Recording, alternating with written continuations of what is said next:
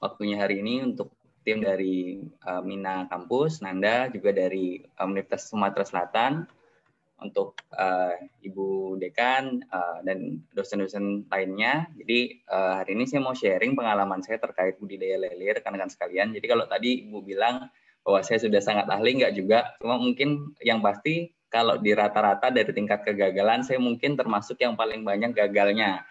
Kalau lele mungkin sudah lebih dari 10 juta ekor yang mati gara-gara saya salah. Jadi karena saya sudah mati cukup banyak, di atas 10 juta ekor, jadi saya bisa cerita lebih banyak, kira-kira seperti itu. Jadi uh, saya sendiri alumni budidaya perikanan IPB, rekan-rekan sekalian. Jadi memang backgroundnya dari perikanan budidaya.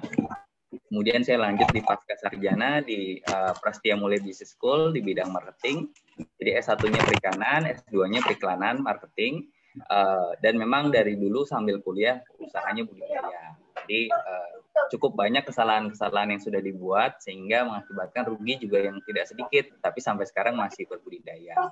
Oke rekan-rekan sekalian, uh, saya biasa dipanggil sebenarnya bukan Pak Agus. Eh, kadang-kadang Pak Agus sih tergantung lokasi, tapi biasanya saya mengenalkan diri sebagai Wibi karena nama Agus cukup populer di Indonesia. Saya pernah ikut komunitas namanya Agus Agus Sedunia Eh, rekan-rekan sekalian. Jadi saking banyaknya nama Agus di grup Facebook itu dulu atau awal berdiri grupnya isinya 400 ribu Agus. Jadi saking banyaknya, uh, tapi begitu gabung ternyata pecah karena ada yang dukung politik, ada dukung segala macam, jadinya jadi banyak komunitas. Uh, karena Agusnya sudah terlalu banyak, jadi saya ganti nama menjadi Wibi Sono uh, atau panggilannya Pak Wibi. Seperti itu. Kemudian saat ini saya di karena kan uh, sebagai pembudidaya uh, fokusnya di ikan air tawar, ada lele, ada nila, ada atin, tapi yang banyak lele dan nila dan juga uh, mengajar sebagai dosen sambilan di uh, Akademi Usaha Perikanan di program Pasca Sarjana dan uh, S1-nya. Oke, rekan-rekan sekalian, uh, ini hari ini ini uh, jurusannya budidaya ya semuanya ya.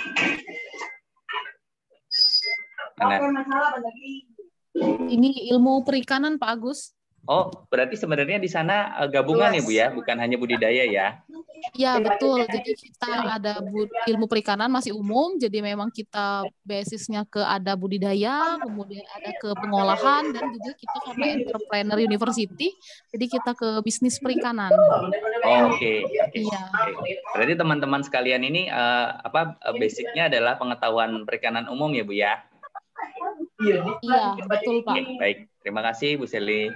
Ya, ya rekan-rekan sekalian, jadi kalau kita bicara lele, sebelum teman-teman uh, belajar budidayanya, teman-teman harus tahu dulu lele itu asalnya dari Afrika. Jadi uh, kita itu baru mulai berbudidaya di dunia itu tahun 90-an, rekan-rekan sekalian. Jadi baru kira-kira 30-an tahun lah dari mulai berbudidaya uh, di seluruh dunia sampai saat ini. Jadi bukan sesuatu yang sudah dari zaman dahulu. Sebelum tahun 90-an lele masih ditangkap. Jadi uh, tangkapan alam di Afrika banyak untuk lele, bisa sampai 25 ribu ton, 30, 30 ribuan ton uh, selama setahun. Meskipun sekarang setelah dibudidaya jauh dari 200 ribu ton di atasnya uh, produksinya lele sendiri. Jadi dulunya budidaya uh, tangkap, tapi sekarang sudah jauh lebih besar budidaya. Dan negara-negara yang membudidayakan lele itu bukan hanya Indonesia, rekan-rekan sekalian. Jadi ada uh, Amerika Latin, kemudian sekarang yang berkembang India dan Bangladesh. Kalau teman-teman uh, cek di YouTube, itu namanya bukan lele, uh, yang muncul adalah magur catfish. Jadi istilahnya magur di Bangladesh dan India yang banyak berkembang. Vietnam dan Thailand juga uh, berkembang tapi tidak sebanyak vaksin. Jadi lebih banyak di India, Bangladesh itu yang memang uh, populer lele. Jadi makanan-makanan terkait lele pun selain di Indonesia, teman-teman bisa lihat di India banyak. Mungkin karena tadi ya karakteristik ikannya kan bisa kuat hidup dengan apa namanya uh, air yang seadanya, kemudian uh, mudah di apa kepadatannya relatif tinggi Uh, jadinya populer di negara-negara yang banyak penduduknya Indonesia, kemudian uh, India dan Bangladesh. Uh, ini teman-teman semua sudah tahu bahwa lele punya alat pernafasan tambahan arborescent organ sehingga dia bisa mengambil oksigen dari atas. Kemudian ada alat kelaminnya jantan dan betina bedanya yang jantan ada seperti ini, betina ada seperti ini. Dan lele itu di alam bisa tumbuh besar sekali sampai 60 kilo rekan-rekan sekalian. Jadi bisa besar aslinya, tapi kan kalau kita jarang sekali yang budidaya sampai ukuran itu ya. Nah, uh, mungkin kalau hari ini saya tidak mau terlalu banyak cerita teknis, karena teknis teman-teman bisa lihat di Google, bisa lihat di YouTube, tapi saya akan cerita insight-insight yang menarik terkait bisnis lele. Jadi, uh, selain uh, di luar teknis, mungkin teknis ada sedikit, tapi kita tidak mau banyak bahas terkait teknis. Uh, jadi teman-teman sekalian, kalau teman-teman mau masuk ke bisnis lele, teman-teman harus tahu dulu siklusnya. Jadi siklus lele ini dalam setahun, kalau orang di Bogor atau di daerah-daerah mana pun pasti akan mengalami bahwa dalam setahun itu kita sebagai petani budidaya, pembudidaya uh, akan mengalami masa-masa sebagai pengemis dan mengalami masa-masa sebagai raja. Jadi kalau uh, musim tertentu kita jadi raja, semua orang minta lelenya, minta tolong, minta tolong, dibayarin duluan lah. Seperti itu ada musimnya. Tapi ada masanya juga ketika kita tidak bisa jual, susah nawarin ke A ditolak, nawarin ke B ditolak. Itu setiap tahun begitu. Itu siklusnya. Jadi teman-teman harus paham ritme dari pasar sebelum teman-teman berbudidaya. Umumnya yang berpengaruh adalah cuaca, itu yang paling utama. Biasanya saat musim kemarau, telur akan kosong. Jadi teman-teman yang budidaya benih, yang melakukan pembenihan, saat paling laku jualan benih di mana? Saat musim kemarau, tapi produksinya susah. Biasanya seperti itu. Cari cacing gampang, bahan baku pakannya pakan alami gampang tapi larvanya relatif susah dirawat karena biasanya telurnya telur yang tidak matang. Jadi uh, ini musiman. Nah, petani uh, pembesaran saat musim kemarau susah mendapat benih seperti itu. Air juga relatif susah, tapi harga jual relatif baik seperti itu umumnya. Uh, kecuali di di daerah-daerah tertentu yang saat kemarau melimpah ikan alam. Jadi kalau di Sumsel itu kan musim kemarau ikan alamnya banyak. Nah saat ikan alamnya banyak tuh biasanya harga drop. Jadi lele alam banyak, itu otomatis lele budidaya harganya akan jatuh. Jadi teman-teman harus tahu ritmenya di mana teman-teman berbudidaya, kapan itu akan naik dan kapan ikan itu akan turun. Umumnya dipengaruhi oleh cuaca dan substitusinya. Jadi kalau di Jakarta eh, itu yang berpengaruh adalah ikan laut. Jadi kalau musim ikan laut susah seperti sekarang atau bulan Desember kemarin, umumnya harga ikan akan naik karena posisinya ikan laut yang menjadi pengganti dari lele itu harganya naik atau saat harga ayam mahal seperti sekarang itu harga lele juga terdongkrak naik harga telur naik itu juga harga lele akan naik jadi harga lele tadi bukan hanya dipengaruhi oleh ikan teman-teman sekalian tapi juga dipengaruhi oleh barang uh, substitusinya barang yang bisa menggantikan lele sebagai protein jadi ada uh, ikan-ikan lain ada ikan alam ada ikan budidaya lain ada ikan laut ada ayam, ada telur, ada daging. Jadi teman-teman ketika tahu berita bahwa di luar uh, harga ayam naik, itu biasanya lele akan terdongkrak naik. Nah, yang kedua, saat musim hujan, itu umumnya secara kalau teman-teman pemenihan itu telur akan banyak. Kita untuk budidaya gampang. Uh, tapi yang susah adalah cacingnya. Biasanya kalau berbudidaya kita butuh cacing. Nah, untuk pakan alami. Nah, ini cacingnya susah. Jadi kita secara telur gampang, tapi cacingnya susah. Itu musim hujan. Nah, eh, pengetahuan tentang siklus ini penting untuk teman-teman tahu karena kita bisa memprediksi. Jadi kalau memang eh, contoh tahun ini, tahun ini eh, diprediksi BMKG kita akan mengalami lanina, berarti kemarau-nya akan panjang. Kalau kemarau-nya panjang, berarti tahun ini musim susah benih akan panjang. Kalau musim susah benih akan panjang, berarti harga benih akan naik seperti itu. Jadi, nah otomatis gimana caranya bisa kalau teman-teman pembesaran teman-teman akan susah memperoleh benih. Nah, gimana caranya memperoleh benih? Ya otomatis harus bangun hubungan dengan pembenihnya dengan baik dan lain-lain. Tapi siklus ini perlu teman-teman tahu sebelum teman-teman terjun ke budidaya. Jadi tahu kapan uh, input produksinya susah, kapan input produksinya uh, mahal, kapan gampang menjual, kapan uh, susah menjual. Itu harus tahu. Kemudian di lele ini ada banyak segmentasi rekan-rekan sekalian. Jadi ada yang hanya usahanya jual larva. Jadi itu dia hanya punya induk, kemudian nyuntik, jual larva. Larvanya dijual dua rupiah. Jadi hanya kerja satu malam, dapat uang. Ada yang seperti itu. Uh, saya punya rekanan dalam sehari dia bisa jualan 2 juta ekor gitu kan. Jadi larvanya satu satu ekor itu harganya dua rupiah. Jadi dalam satu malam ya dapat 4 juta rupiah seperti itu uh, dia hanya kerja seminggu dua kali hari Senin dan hari uh, Rebo seperti itu misalkan. Jadi itu ada segmentasi yang memang khusus hanya jual larva. Ada yang beli larva sampai mendederkan ukuran 2-3 cm, sampai 3-4 cm, 3-5 cm. Kemudian ada yang membeli 23, 34, dibesarkan sampai ukuran 7 sampai 8 cm, ada yang sampai 11, 12. Jadi di lele ini eh, jarang yang punya semua ya teman-teman ya, dan biasanya yang punya semua justru nggak maksimal. Karena eh, untuk kita ber, melakukan pemenihan sama melakukan pembesaran itu yang dibutuhkan airnya berbeda, kemampuannya pun berbeda. Jadi biasanya ada segmentasi-segmentasi eh, yang membuat apa namanya siklusnya pun uh, kayak larva tadi cuma satu hari kalau pendederan umumnya satu bulan tiga minggu sampai satu bulan.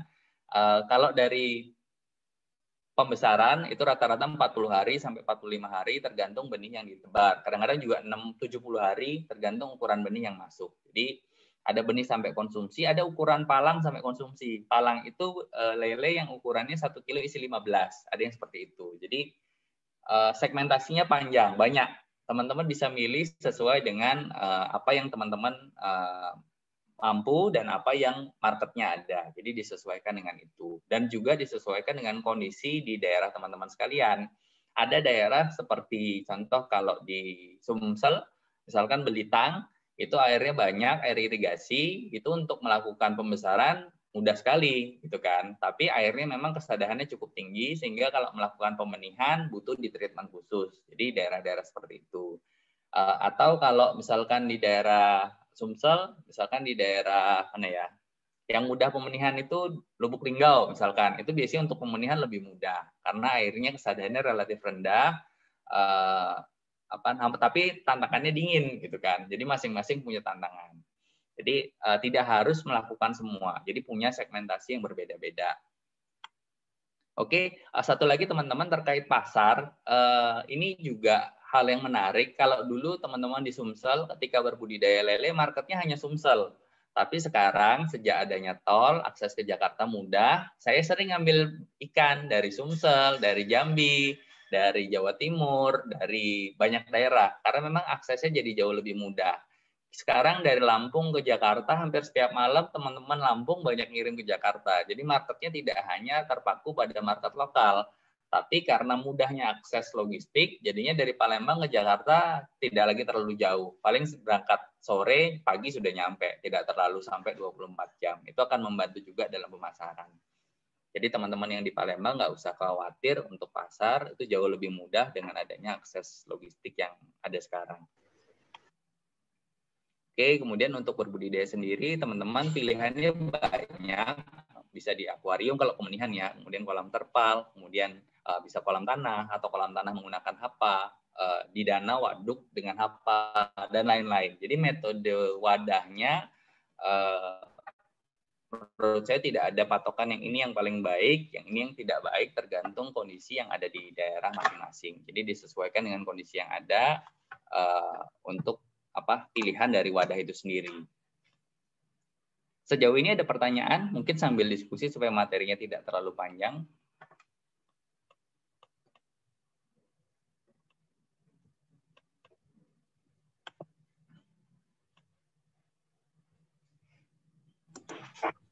Kalau atau kalau ada pertanyaan boleh ditulis di kolom chat ya, jadi bisa langsung saya jawab sehingga uh, nggak langsung lupa gitu kan. Biasanya kan kalau udah terlalu panjang ntar lupa mau ditanyain di mana. Jadi silahkan tanyakan saja di kolom chat apa yang mau ditanyakan. Kalau ada apa nanya apa pun kita diskusi sehingga bisa uh, bisa lebih interaktif uh, hari ini.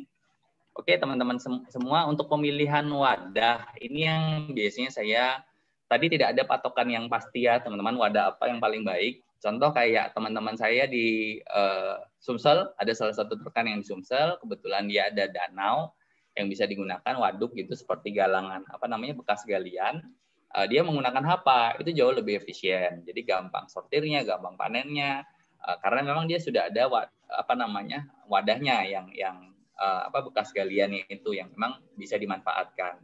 Tapi teman-teman saya di Bogor itu rata-rata budidayanya menggunakan kolam kolam tanah teman-teman saya di Tulungagung rata-rata kolamnya kolam beton, kolam terpal. Jadi memang metode budidayanya sendiri uh, bervariasi ya karena kan tidak ada metode yang uh, apa namanya ya disesuaikan dengan kondisi di daerahnya.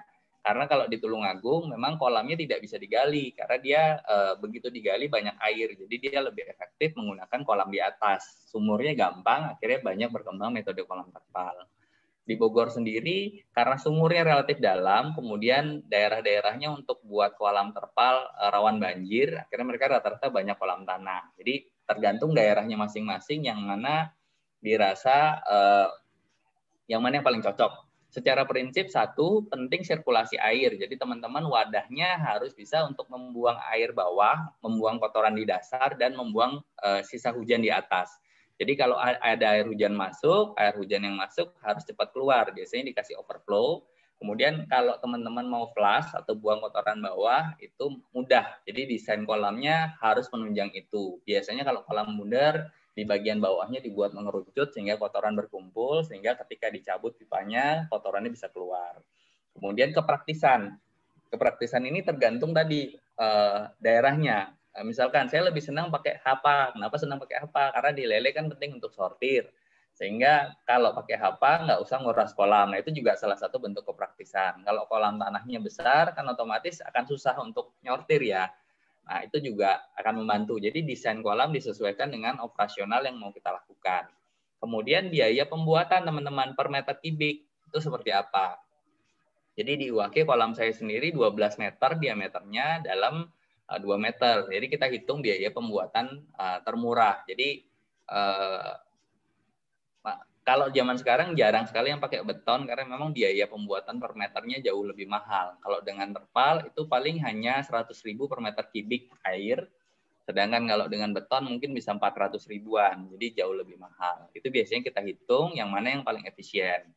Tapi kalau di lokasi teman-teman sudah ada kolam besar seperti itu, daerahnya banyak kolam, lahannya banyak, ya tentu metode pemeliharaannya disesuaikan dengan itu. Jadi uh, menurut saya tergantung dari daerah teman-teman dan lokasi teman-teman dan uh, stabilitas kualitas air bahwa kolam itu semakin airnya besar, semakin airnya uh, banyak itu lebih stabil kualitas airnya.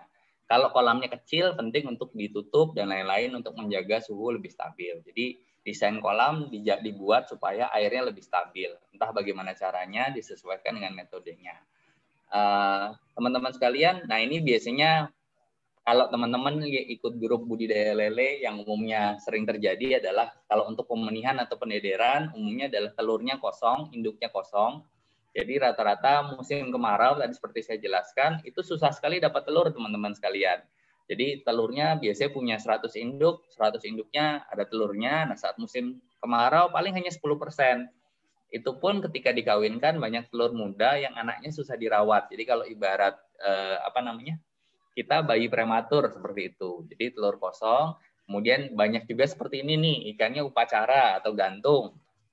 Ini banyak terjadi, moncong putih, uh, kemudian ikan yang muter-muter, pojok badan merah, ukuran tidak rata, ada ikan besar sendiri. Nah ini umum masalah yang dihadapi saat pemenihan atau pembesaran, eh pendederan. Jadi uh, yang mengakibatkan kematian yang bisa sangat banyak. Nah, eh, kemudian kalau di pembesaran sendiri biasanya ukuran beragam, banyak BS. Nah, lele ini menarik teman-teman sekalian. Setiap daerah itu punya karakteristik pasar yang berbeda-beda. Jadi eh, contoh di Lampung, harga lele di Lampung itu hanya 15.500, 14.500. Tapi seluruh ukuran harganya sama. Eh, berbeda dengan di eh, Bogor. Di Bogor harga lele 18.000, tapi ukuran yang lebih dari sekilo isi lima, lebih besar dari 200 gram, sekilo lima kan satu por, satu kilo isi lima ekor. Lebih besar dari sekilo lima, jadi sekilo empat, sekilo tiga, sekilo dua, itu harganya hanya 12.000 sampai 13.000. Jadi harganya beda. Yang ukurannya lebih kecil dari sekilo sembilan, harganya juga sama, hanya 12.000 sampai 13.000. Jadi harganya berbeda-beda tergantung ukuran kalau di Bogor. Nah, di Lampung harganya murah, tapi di, harganya sama semua di tengah-tengah. Nah, ini beda Nah, saya tidak tahu seperti apa di Palembang, tapi uh, dari uh, informasi teman-teman sih Palembang juga sama harganya ikan besar pun harganya sama saja seperti itu. Jadi kalau di Bogor BS atau ikan yang oversize itu menjadi masalah. Jadi kalaupun FCR-nya baik, FCR-nya baik, tapi kalau banyak BS atau banyak ikan-ikan yang oversize itu akan menjadi Oke, kemudian uh, yang lain ada nafsu makan drop, biasanya akibat air yang masalah. Uh, Nanda suaranya agak gaung, bisa dicek. Oke. Kemudian ada yang kalau ada masalah di pakan, biasanya badannya menjadi kuning, itu sering terjadi juga di Bogor. Uh, kemudian perut kembung, FCR bengkak atau naik, air bau, ini yang umum lah terjadi. Jadi teman-teman, uh, ini gambaran, tapi tentu di setiap daerah akan berbeda-beda. Jadi budidaya saya di Bogor, di Sumba, Sumsel, di Jawa Timur akan menghadapi masalah yang beda-beda, tapi kira-kira seperti ini masalahnya ketika berbudidaya lele. Nah, sumber masalahnya umumnya adalah air, itu yang pertama. Jadi manajemen air itu menjadi salah satu peranan penting dalam berbudidaya. Di Bogor, eh, karena sumber airnya rata-rata dari sungai, kemudian kolamnya pendek-pendek, nah akhirnya banyak masalah tadi terkait uh, bakteri, serangan parasit itu juga banyak terjadi. Nah di Tulungagung karena sumber airnya dari sumur, masalah-masalah seperti itu jauh lebih mudah diatasi karena airnya airnya dari sumber yang yang standar ya air sumur. Beda dengan kalau dari irigasi atau dari sungai kan airnya bisa dari mana-mana, apa namanya sumber pencemarannya.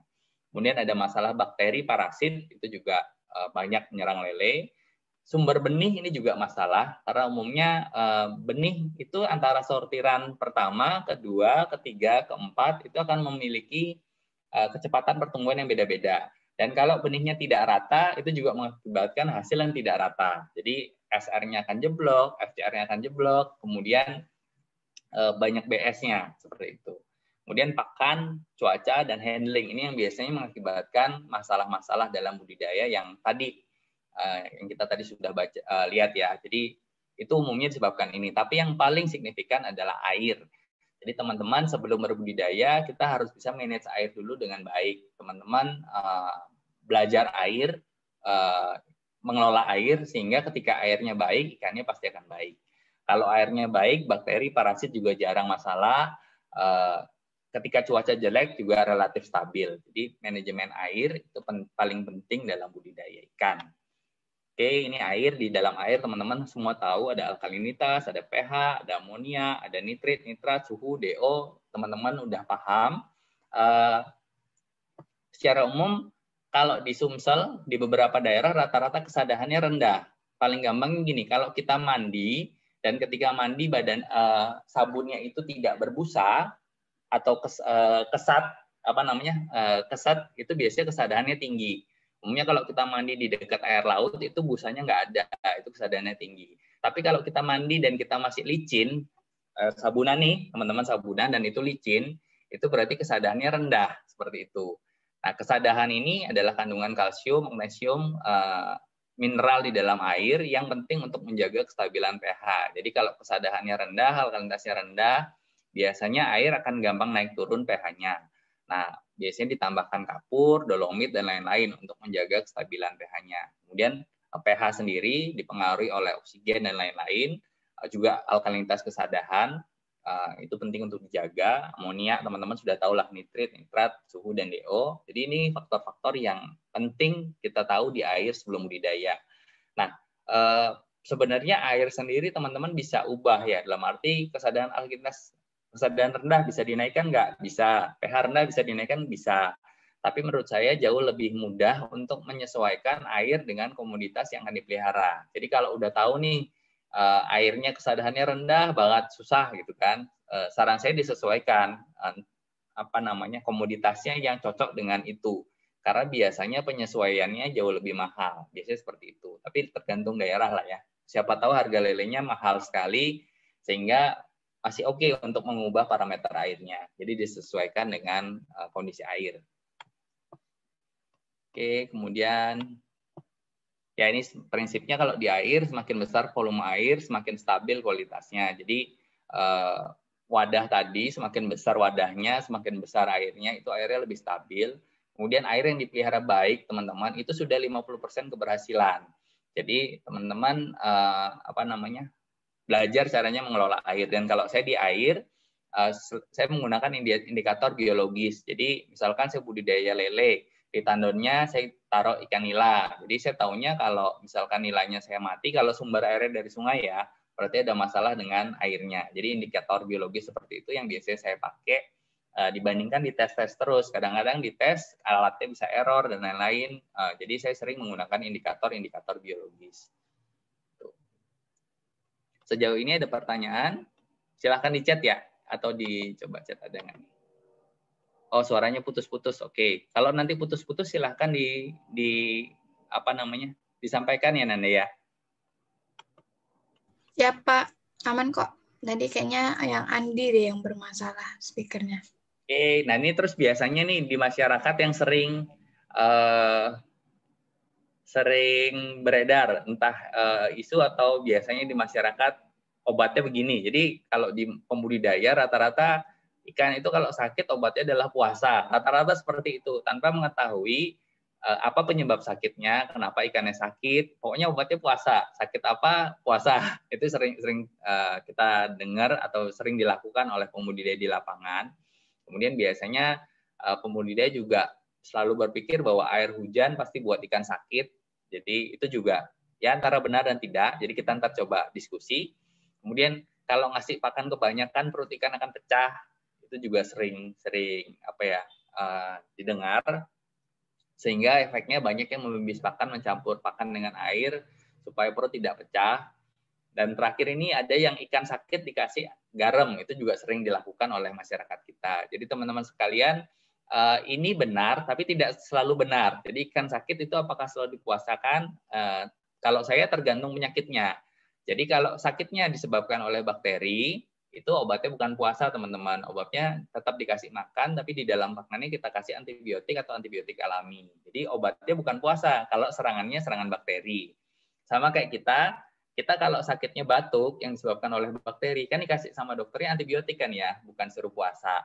Tapi kalau di ikan yang disebabkan sakitnya disebabkan oleh kualitas air yang buruk, amonianya naik misalkan, kemudian uh, eh, DO-nya rendah, faktor-faktor air itu puasa sangat membantu karena dengan puasa masuknya nitrogen di air kita kurangi sehingga uh, apa namanya pengelolaan air oleh bakteri dan lain-lain jadi jauh lebih baik. Jadi tidak selalu obatnya sakit itu puasa gitu. Begitu juga dengan dikasih garam. Kalau serang, eh, serangannya akibat serangan parasit, iya dikasih garam. Tapi kalau serangan bakteri malah tambah masalah. Jadi ini juga teman-teman harus paham sakitnya kenapa. Eh, tidak semua penyakit obatnya garam, obatnya puasa itu sering terjadi. Kemudian air hujan buat ikan sakit. Nah ini juga eh, teman-teman harus paham air hujan itu adalah air yang pH-nya rata-rata 6 sampai 6,5 tergantung 5,5 sampai 6,5 tergantung daerah. Setiap daerah punya karakteristik air hujan yang beda-beda tergantung tingkat pencemarannya. Semakin dekat Jakarta yang polusinya tinggi, banyak CO2, itu biasanya air hujannya rendah pH-nya.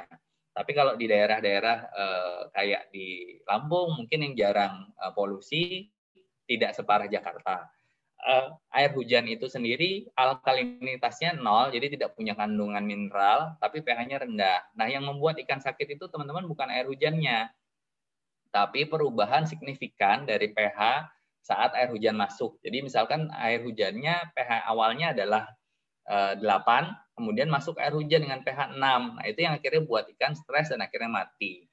Uh, biasanya yang terjadi masalah adalah saat air hujan pertama. Jadi Eh, lama kemarau, kemudian hujan awal. Nah, itu memang banyak ikan mati. Karena tadi planktonnya udah lagi bagus, eh, pH-nya tinggi, kemudian ketika awal hujan, pH-nya langsung drop, kaget dia kan. Ketika kaget inilah yang akhirnya banyak eh, kematian. Tapi kalau sudah hujan tiap hari nggak akan masalah, karena ikannya sudah biasa dengan pH yang ada. Jadi tidak kaget lagi dengan pH yang ada. Itu contohnya. Jadi bukan air hujan yang yang buat ikan sakit karena kalau kita tampung air hujannya kita pakai pelihara ikan ikannya juga tidak akan mati gitu kan. Jadi yang membuat kaget yang buat mati adalah fluktuasi pH yang signifikan drastis itu yang akan buat ikannya masalah.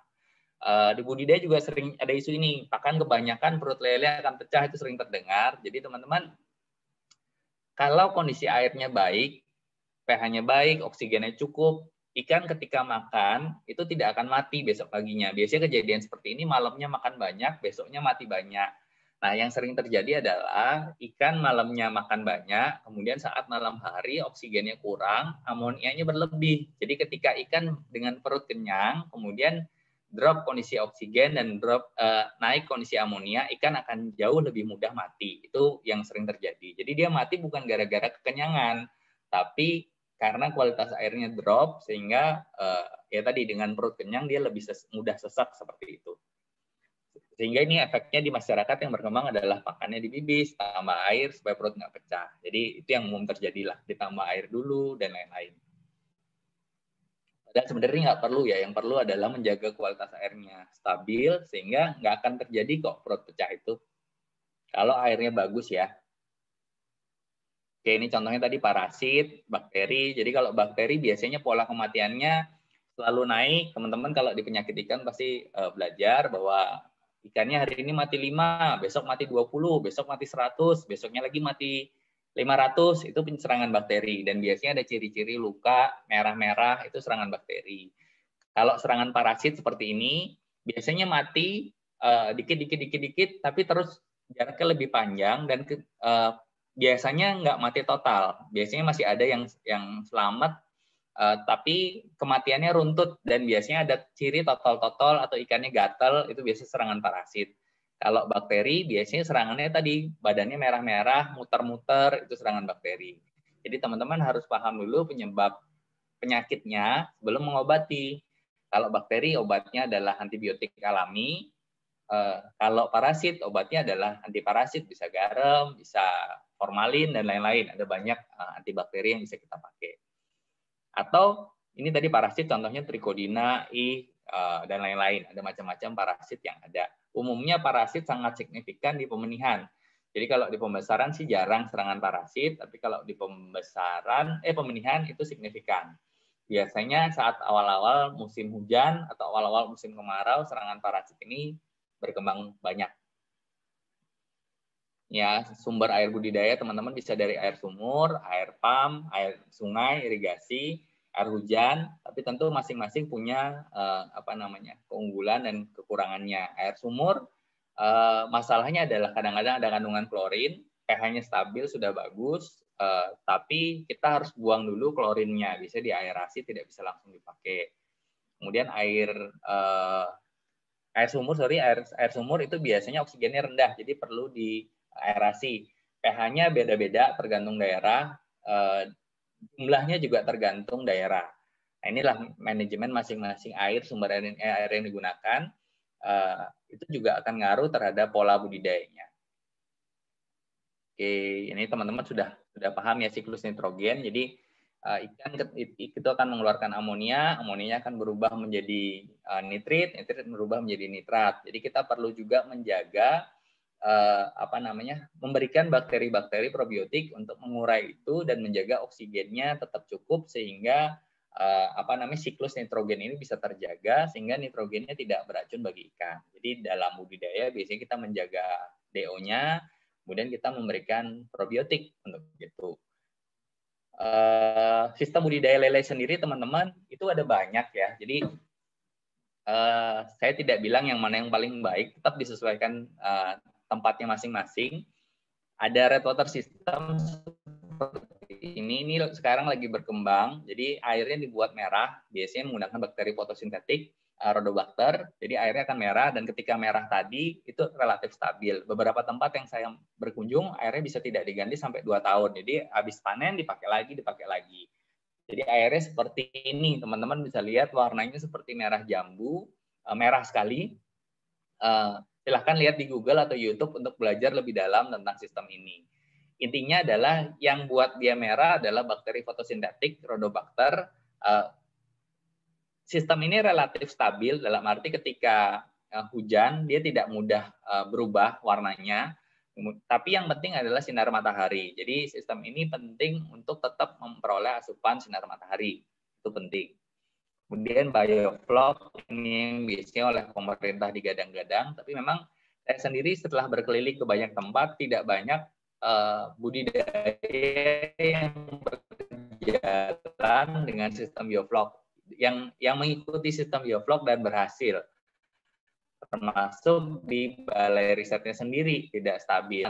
Uh, sumber karbon untuk pembentukan sistem vlog ini memang perlu perhitungan yang detail dan masih putus-putus? Anda? Tes? Udah aman, Pak. Apakah putus-putus? Udah aman, Pak. Aman ya? Jelas, sorry, sorry jelas, tadi Pak. sinyalnya. Aman, aman. Ya.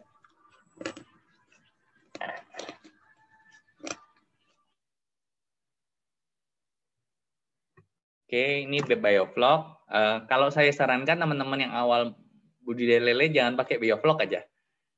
Karena memang tadi eh, kalau biovlog saya rasa lebih cocok di nila, teman-teman sekalian. Jadi di nila sangat signifikan banyak yang berhasil, tapi kalau di lele sebaliknya. Kalau lele eh, mungkin kalau nggak RWS ini teman-teman bisa pakai sistem standar aja, pakai air hijau green water system. Lemahnya green water system adalah kalau mataharinya mendung atau cuaca mendung selama beberapa hari berturut-turut, planktonnya mati, airnya akan rubah. Tapi selama masih musimnya kemarau panjang, airnya hijaunya stabil, itu udah aman. Kemudian di daerah lain kayak di Boster, di Jawa Timur, menggunakan probiotik di air, probiotik di pakan, itu juga ada yang menggunakan seperti itu. Jadi metodenya bervariasi tergantung kolamnya. Nah, ini juga ada yang sekarang berkembang sistem RAS, ini juga berkembang. Eh, apakah ini cocok diterapkan di Indonesia? Eh, menurut saya antara cocok nggak cocok karena di kita lahan relatif murah teman-teman, sedangkan biaya investasinya ini terlalu mahal. Sedangkan ini memang di luar dibuat seperti ini karena lahannya mahal. Kalau di kita lahannya murah nggak usah seperti ini. Seperti itu menurut saya ya. Oke. Nah, dalam budidaya ini, eh, dalam manajemen air, teman-teman penting untuk menggunakan probiotik. Eh, kalau saya biasa buat sendiri dengan menggunakan rabal, ragi, dan bakteri asam laktat. Di grup Facebook itu banyak sekali grup terkait rabal. Jadi ada komunitasnya, di dalamnya banyak teman-teman yang eh, menggunakan ini dan eh, apa namanya mereka sharing. Jadi kalau teman-teman mau budidaya lele, tahu teknis lebih banyak, tahu masalah lebih banyak, silahkan join di grup-grup Facebook yang membahas itu. Salah satu yang saya rekomendasikan adalah komunitas Rabal ini. Rabal ini uh, ditemukan oleh uh, Pak Ibnu Sahidir, profesor di Aceh, uh, Balai Budidaya Aceh. Jadi uh, relatif dicoba di mana-mana hasilnya stabil dan memang bisa dibuat sendiri. Jadi teman-teman bisa buat dari ragi tape, yakul dan gula. Uh, buatnya cukup mudah dan hasilnya cukup baik. Nah, selain rabal, biasanya kita juga tambahkan bakteri-bakteri lain, bisa pakai bacillus, nitrobacter, dan lain-lain. Itu juga akan membantu. Tapi rabal aja cukup, karena dengan adanya rabal, ekosistemnya uh, airnya menjadi baik, dan bakteri-bakteri alaminya juga bisa tumbuh. Oke, ini kapur dan pupuk, juga tergantung metode. Kalau tadi green water system akan banyak pakai kapur dan pupuk, rabal juga iya. Beberapa air yang alkalinitasnya kurang juga perlu ditambahin kapur. Kapur sendiri teman-teman di lapangan ada kapur pertanian CaCO3, ada dolomit, ada kapur tohor. Jadi teman-teman harus tahu beli kapur yang mana, jangan salah beli kapurnya. Biasanya yang digunakan untuk air adalah dolomit dan kaptan. Gitu. Kalau CaO bisa, tapi jangan saat ada ikannya. Jadi kalau ada saat ada saat ikannya dikasih CaO, airnya akan panas. Oke, kemudian pemenihan lele sendiri teman-teman, uh, saya bahas kilas. Jadi uh, ini umumnya jantan betina lah, umumnya udah tahu. Tapi yang sering kali jadi bahan diskusi adalah alami dan buatan. Apakah pemenihan ala, uh, beberapa di Bogor ada yang fanatik benihnya maunya dari pemijahan alami gitu kan, uh, nggak mau dari yang ikan suntik. Nah ini juga menurut saya relatif ya teman-teman. Plusnya pemijahan alami adalah telur yang keluar, telur yang dibuahi adalah telur yang matang. Tapi lemahnya adalah jumlahnya tidak bisa banyak, jadi eh, nggak bisa massal serentak gitu. Pemijahan buatan plusnya adalah jumlahnya banyak, tapi kalau eh, pemilihan telur atau perawatan induknya tidak baik, sering kali telur-telur muda yang keluar. Nah, ketika telur-telur muda ini dibuahi, larvanya menjadi larva yang lemah, jadi gampang sakit gitu. Tapi kalau sebenarnya pemijahan buatan, tapi kita milih induk dan manajemen induknya baik juga nggak ada masalah. Jadi masing-masing punya pro kontra, eh, plus minus lah, masing-masing ada plus minusnya. Eh, kalau pemijahan buatan, lemahnya adalah jantannya kita harus siap banyak, karena jantan kita saat kita ambil spermanya dia harus dibunuh kan, dimatikan karena kita harus potong perutnya, ambil spermanya buat campur dengan telur. Beda dengan patin yang bisa di stripping saja. Kalau di lele mesti diambil spermanya. Jadi efeknya kalau mau melakukan pemijahan buatan di lele harus punya banyak stok jantan. Kalau dialami nggak usah karena jantannya kan alami begitu saja. Nah, ini tadi pemeliharaan induk. Salah satu masalah yang sering membuat masalah di pemeliharaan lele adalah persiapan induknya rekan-rekan sekalian. Jadi rata-rata uh, pembudidaya ini banyak punya induk tapi tidak dirawat. Jadi misalkan di Bogor banyak sekali yang punya induk 200, 300, 100 begitu kan. Padahal sebenarnya uh, kalau satu induk itu rata-rata produktivitasnya 50.000 sampai 100.000 per kilo. Umumnya 100.000 per kilo. Jadi kalau kita mau memproduksi satu juta ekor, sebenarnya cuma butuh hanya 10, 10 induk. Tapi karena rata-rata uh, apa ya namanya petani senang punya induk banyak gitulah, dapat bantuan dari dinas, induknya diterima banyak. Nah, efeknya adalah induk yang banyak tadi tidak diberi makan yang cukup. Jadi dia punya 100 induk, misalkan masing-masing sekilo, berarti kan ada 100 kilo, harusnya dia diberi makan 2% per hari. Jadi harusnya dikasih makan 2 kilo. Nah, umumnya mereka ngasih makan tidak sesuai dengan jumlah pakan yang seharusnya. Efeknya induknya menjadi kurang gizi, kurang nutrisi, sehingga anaknya pun menjadi lemah dan produktivitasnya jadi berkurang. Jadi jumlah induk teman-teman penting untuk uh, mendingan sedikit dibanding banyak tapi tidak terurus. Jadi 10 ekor oke okay, karena 10 ekor bisa menghasilkan satu juta ekor dibanding punya 100 tapi tidak dirawat. Itu lebih lebih jelek. Jadi persiapan induk ini sangat penting dan selain air, tadi yang salah satu yang paling kalau teman-teman sudah bisa manage air dengan baik, itu 50% keberhasilan. Kalau teman-teman sudah bisa merawat induk yang baik, itu sudah 30% keberhasilan dari pemenihan. Karena induknya baik, benih yang dihasilkan juga akan kuat. Saya pengalaman gini, uh, kalau dari larvanya itu udah sehat, teman-teman, udah baik, itu orang yang baru belajar lele aja, merawat lele, itu mendedarkan akan gampang. Tapi kalau dari larvanya sudah lemah, mau teman-teman ahli juga akan banyak mati. Gitu. Jadi sangat-sangat berpengaruh dari faktor induk menjadi larva dan pemenihan dan pembesaran. Dari induknya dulu yang yang paling signifikan uh, terhadap perawatan. Sama kayak kita kan ngerawat bayi ya, kalau teman-teman uh, tahu uh, punya bayi anak kecil, kalau dari awal uh, ibunya makannya cukup, uh, perkembangan induknya ibunya juga baik, anaknya lahir dengan gizi yang cukup, ngerawatnya nggak akan susah. Dia akan tumbuh dengan uh, apa ya normal gitu. Tapi bayangkan kalau in, in, orang tuanya kurang gizi, anaknya lahir prematur. Jadi itu pasti akan susah banget kan ngerawatnya anaknya jadi rewel, gampang nangis dan lain-lain. Jadi dari awal yang paling penting adalah induk dan air ya. Jadi itu sudah sangat-sangat signifikan terhadap perkembangan pemenihan ataupun pembesarannya. Uh, jantan sendiri dua minggu sudah matang, kalau betina satu bulan setengah, satu bulan bisa juga matang. Jadi matang kembali. Jadi setelah dikawinkan bisa dikawinkan lagi satu sampai satu bulan setengah. Uh, penanganan induk atau kolam induk juga penting teman-teman sekalian. Jadi umumnya rata-rata kolam induknya dijadikan satu kolam. Nah ini juga bermasalah. Harusnya lebih baik dipisah-pisah sesuai dengan bulan yang mau kita pijahkan. Jadi kalau ada induk yang dari dengan dalam proses pemulihan, dia tidak akan terganggu ketika ada induk lain yang dipanen atau diambil. Gitu. Biasanya kalau satu kolam nggak sering diobok-obok dan akhirnya tadi gampang stres. Ketika stres telurnya juga eh, nggak lama untuk pulihnya. Oke, di pemenihan ada pakan larva. Ini juga menjadi isu teman-teman sekalian. Karena rata-rata yang bermasalah tadi ketika musim hujan telurnya banyak tapi nggak ada cacing gitu kan. Jadi uh, musim kemarau cacingnya banyak nggak ada telur uh, jadi apa ya teman-teman tadi selain bisa manage induk yang baik teman-teman juga harus bisa manajemen pakan yang baik cacing sutra memang secara pertumbuhan yang paling baik tapi tadi cacing sutra banyak punya masalah karena uh, masih ditangkap di sini juga jadi peluang bisnis buat teman-teman kalau mau budidaya cacing sutra harganya lebih mahal dibanding harga lelenya cacing sutra di Bogor aja 20.000 per kilo, di Sumatera di atas 40.000 kayaknya per kilo. Jadi lebih mahal dibanding lelenya sendiri, cacingnya. Karena memang secara eh, praktis dan secara riset juga cacing sutra untuk pemenihan, pemenihan lele memang paling cepat tumbuhnya. Tapi sekarang banyak alternatif sebenarnya menggunakan mem, menggunakan kutu air beku, menggunakan pakan udang, menggunakan pakan sidat itu juga sangat signifikan. Jadi sebenarnya banyak opsi hanya kalau dari segi pertumbuhan memang cacing yang paling uh, apa ya paling cepat gitu. Kalau saya sendiri tidak terlalu suka cacing karena fluktuasinya. Jadi kualitasnya tidak stabil, kuantitasnya tidak stabil, tidak kontinu juga. Jadi ketika mau merencanakan produksi, kadang ada, kadang enggak. Saya lebih senang pakai pakan-pakan lain yang lebih mudah diprediksi. Jadi saya bisa tahu kapan saya bisa nyetok, saya bisa pastikan kualitasnya stabil, meskipun mungkin pertumbuhannya tidak secepat cacing gitu. Itu yang biasa saya lakukan.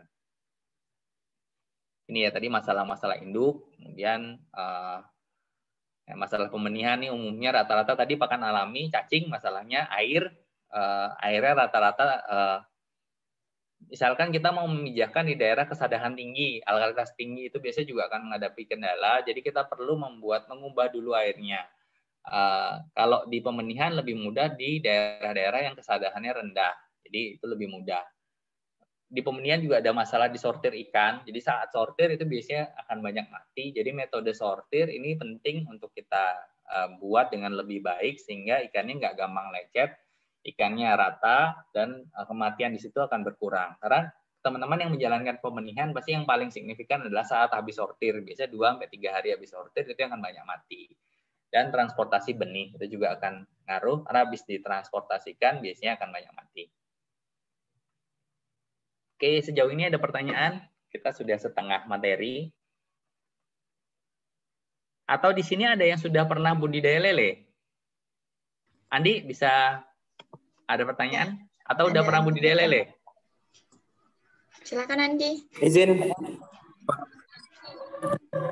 Baiklah. Eh, Sampai salam. Perkenalkan Pak, nama saya Andi Wiradenata dari Universitas Sumatera Selatan.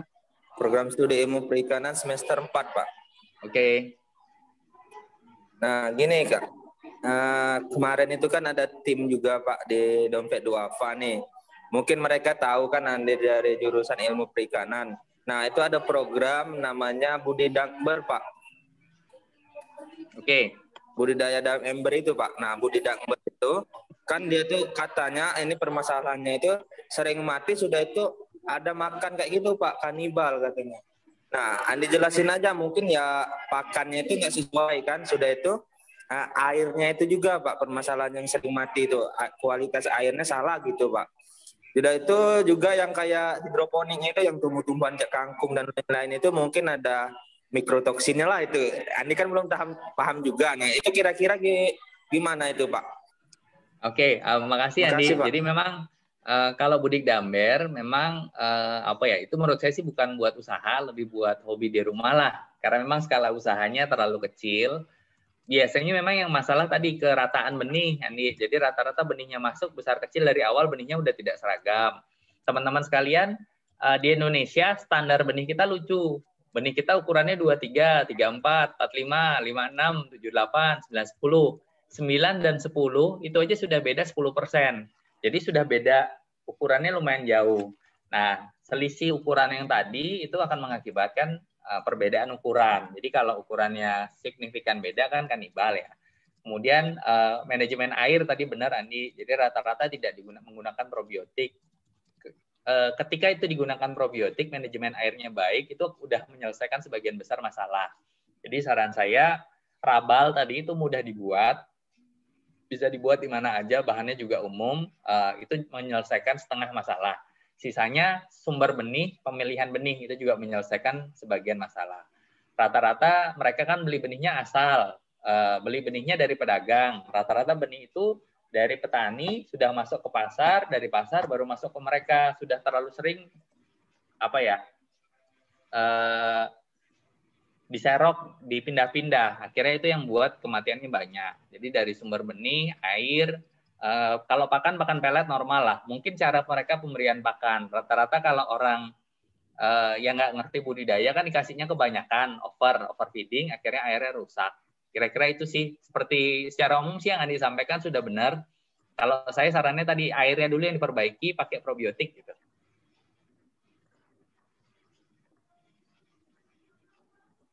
Ada Kalau untuk lain? tumbuhannya itu Pak pengaruh nggak itu Pak? Enggak, enggak, enggak masalah sih. Saya pernah lihat yang budidaya yang atasnya ditutup semua kok, nggak apa-apa.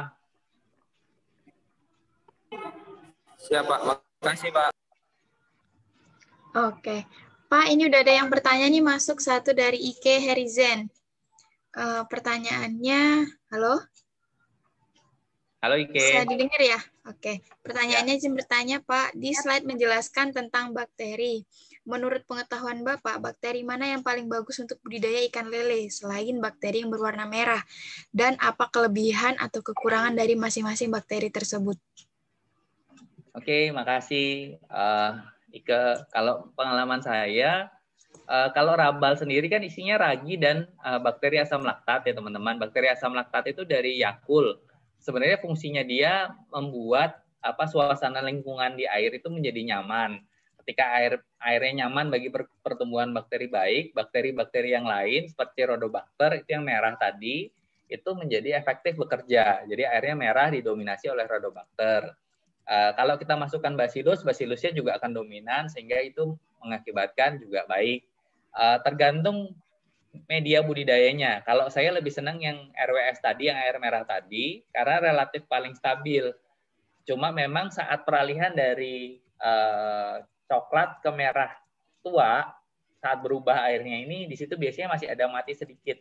Tapi ketika sudah merah, itu stabil airnya. Stabil yang dimaksud itu adalah ketika cuaca berubah, mendung, atau uh, cuaca suhu naik turun, airnya relatif stabil gitu. Kalau kita budidaya air misalkan hijau gitu kan. Kalau mendung hijaunya akan drop mati dan itu akan mengakibatkan airnya rusak, bau dan lain-lain. Kalau yang menggunakan air merah tadi relatif stabil. Uh, itu kalau pakai sistem, tapi syarat air merah kan matahari harus cukup, harus outdoor. Kalau uh, oksigennya cukup, uh, kemudian pengaruh dari matahari bisa kita manage, sebenarnya menggunakan bacillus, nitrobacter, nitromonas juga baik kok. Jadi masing-masing punya plus minus sendiri bakterinya. Semuanya uh, baik dan sebenarnya di air semuanya ada hanya yang mendominasi bakteri yang mana begitu. Jadi sebenarnya bukan ketika airnya merah full rodo nggak juga. Di dalam airnya pasti ada bacillus pasti ada nitromonas pasti ada nitrosobacter hanya yang mendominasi airnya adalah rhodobacter yang merah tadi.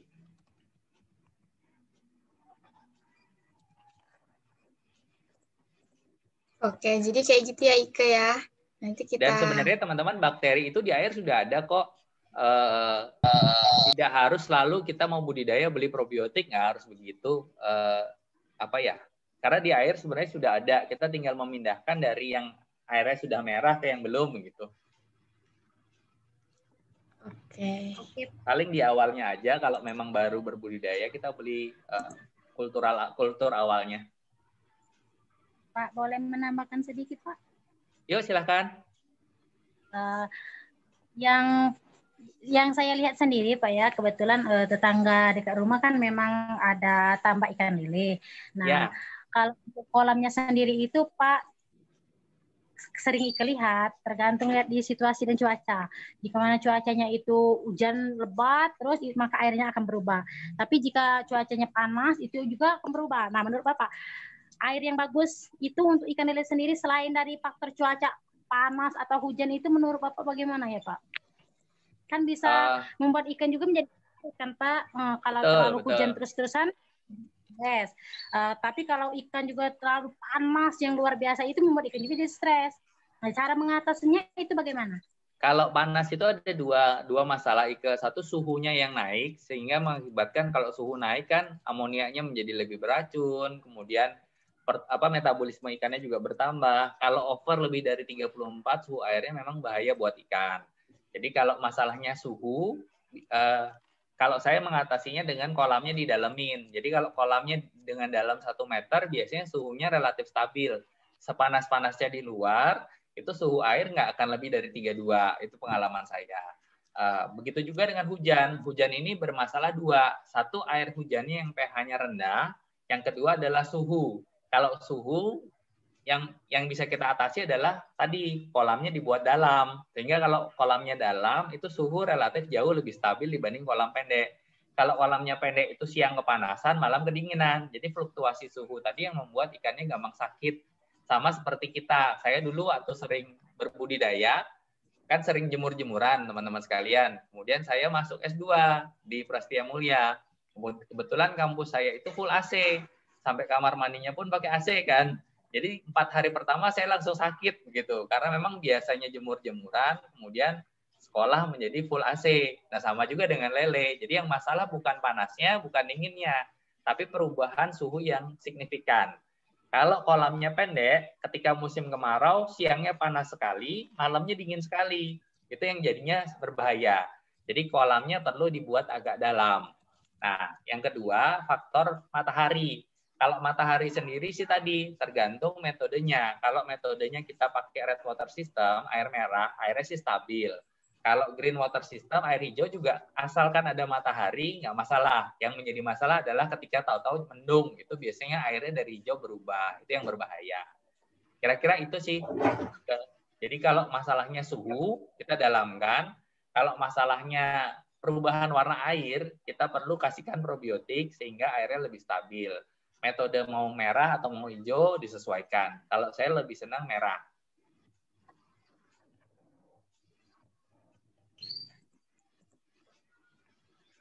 Ya, Pak, mohon maaf, boleh izin bertanya lagi? Ya, silahkan Ika, nggak apa-apa. Jadi banyak nanya, Pak. Bagus dong. Ini, Pak ya. Uh, salah satu contoh kolam kebetulan tetangga di rumah juga Pak.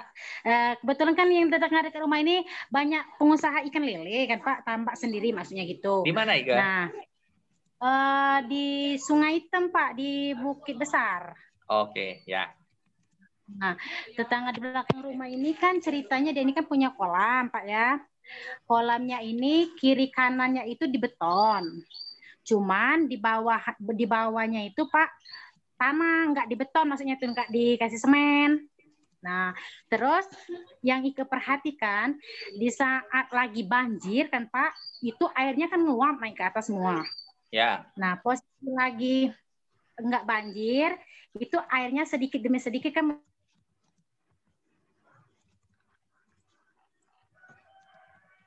Kalau nggak lagi banjir, bagaimana ke? Terputus ya? Ya mungkin saya saya bisa nyambung sih. Itu sama dengan kayak di daerah kolam saya, pas musim hujan kebanjiran, pas musim kemarau nggak ada air. Ya memang Uh, kalau daerahnya seperti itu, saran saya tadi menggunakan kolam terpal. Jadi kolamnya di atas saja. Jadi ketika musim kemarau, airnya nggak sampai susah pas masih hujan juga nggak kebanjiran. Jadi uh, metode kolam tadi disesuaikan dengan daerahnya. Kalau memang ada kendala di hujan atau di kendala di uh, seperti tadi, lebih baik sumber airnya menggunakan apa wadahnya menggunakan kolam terpal aja jauh lebih murah dibanding di beton.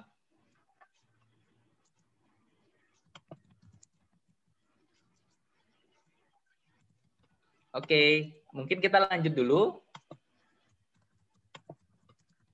Uh, kemudian manajemen pakan teman-teman sekalian, rekan-rekan sekalian. Jadi ini juga menjadi isu tadi ya. Jadi dari Ibu Dekan menyampaikan pakan itu penting, betul pakan itu penting. Jadi teman-teman sekalian uh, di pakan ada istilahnya konversi pakan, FCR. FCR itu adalah dari pakan yang kita kasih, berapa persen menjadi daging.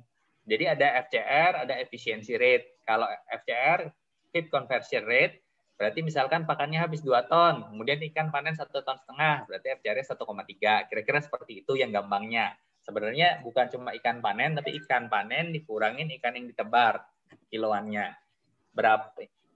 Gampangnya adalah dari pakan yang kita kasih, untuk untuk menghasilkan satu kilo ikan itu butuh berapa kilo pakan sih? Kira-kira seperti itu. FCR ini menjadi penting karena sering kali yang berkembang di masyarakat itu uh, seperti ini, Pak, ikan saya lele uh, pakan pabrik kan mahal. Saya kasih aja lah pakan alternatif gitu kan. Pakan alternatif nih Pak, ada yang jual uh, sosis. Kalau di Bogor yang banyak berkembang itu sosis, bakso bekas gitu kan. Harganya murah Pak, hanya 5.000 misalkan, hanya 4.000. Harga pelet kan 8.000, lebih murah. Nah, teman-teman harus tahu FCR.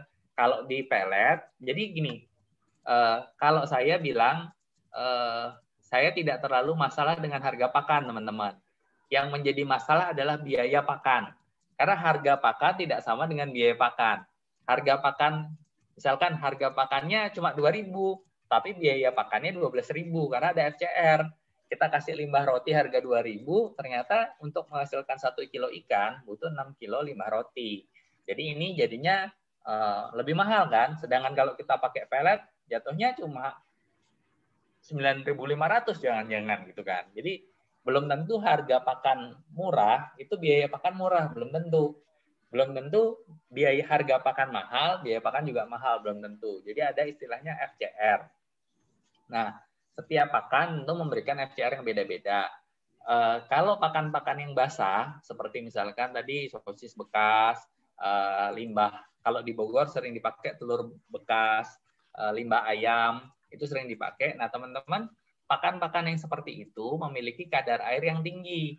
Kadar airnya rata-rata 70 sampai 80 persen, sehingga rata-rata pakan tersebut uh, secara FCR rata-rata di atas 5. Karena tadi kandungan kadar airnya tinggi. Jadi kalau teman-teman beli sosis, itu sebenarnya 70 persennya kan air, ada kandungan airnya. Uh, yang bisa dimanfaatkan tentu kan bukan kandungan airnya, tapi kan protein yang ada ya. Nah itu yang yang akhirnya buat FCR-nya jadi nggak nggak masuk. Uh, penggunaan pakan alternatif menurut saya teman-teman harus menyadari harganya. Jadi kalau ditanya ke saya Pak, boleh nggak sih lelenya dikasih telur, telur bekas? Kalau saya tergantung harga telurnya. Kalau telurnya gratis ya boleh-boleh aja. Kalau telurnya harga 500 perak ya boleh-boleh aja. Tapi kalau telurnya udah di atas harga 1000, 1500, mendingan jangan. Full pelet aja lebih untung. Jadi teman-teman harus tahu contoh maggot. Pak, pakai maggot bisa nggak lebih untung? Tergantung. Kalau sumber pakan maggotnya gratis, maggotnya gratis bisa lebih untung. Tapi kalau maggotnya menggunakan bungkil sawit, bungkil sawitnya udah harganya di atas 600 rupiah, udah pasti rugi karena dulu metode maggot itu dibuat ketika bungkil sawitnya masih limbah, bisa dimanfaatkan gratis. Tapi ketika sekarang bungkil sawitnya udah mahal, udah nggak masuk lagi hitungan itu. Itu menurut saya. Jadi teman-teman harus peka. Dan di setiap daerah tentu peluang pakan alternatif ini beda-beda ya teman-teman. Di daerah Bogor misalkan, Eh, banyak kandang ayam petelur sehingga di situ banyak telur bekas telur bekasnya murah hanya 600 perak sampai 1000 nah itu masih bisa dijadikan pakan alternatif tambahan selain pelet meskipun nggak bisa 100% di beberapa daerah kalau misalkan kayak Indramayu musim-musim tertentu banyak ikan laut rucah yang murah harganya di bawah 1000 itu bisa dipakai pakan alternatif jadi jangan hanya melihat pakan alternatifnya tapi teman-teman harus menghitung harganya kadang-kadang tadi harga pakan tidak selalu mencerminkan biaya pakan karena ada konversinya. Tuh, harga pelet mahal belum tentu juga lebih jelek, belum tentu ya. Sekarang ada pelet dari Cina, Tongwei, uh, itu terbesar di Cina masuk ke kita. Mereka jual pakan bukannya murah, jual pakan paling mahal, tapi yang dijual pakan lain harganya 8.600, FCR 1,2, mereka 9.500 tapi FCR bisa satu gitu kan jadi jatuhnya harga pakan lebih mahal tapi biaya pakan lebih murah gitu jadi tidak tidak selalu mencerminkan uh, apa namanya uh, harga itu apa ya mahal belum tentu baik belum tentu jelek murah belum tentu baik juga gitu tergantung tergantung biaya pakannya jadi harga pakan tidak mencerminkan kira-kira seperti itu nah uh, tadi kan pakan teman-teman harus tahu FCR. Nah, apa yang mempengaruhi FCR itu tentu satu kualitas pakan. Jadi uh, itu sangat berpengaruh. Kadar air uh, di pakan berpengaruh. Kualitas air juga berpengaruh. Jadi kalau kualitas airnya jelek, teman-teman, FCR-nya sering kali jelek. Pakannya bagus sekalipun kalau teman-teman airnya jelek, jelek juga hasilnya. FCR-nya akan jebol.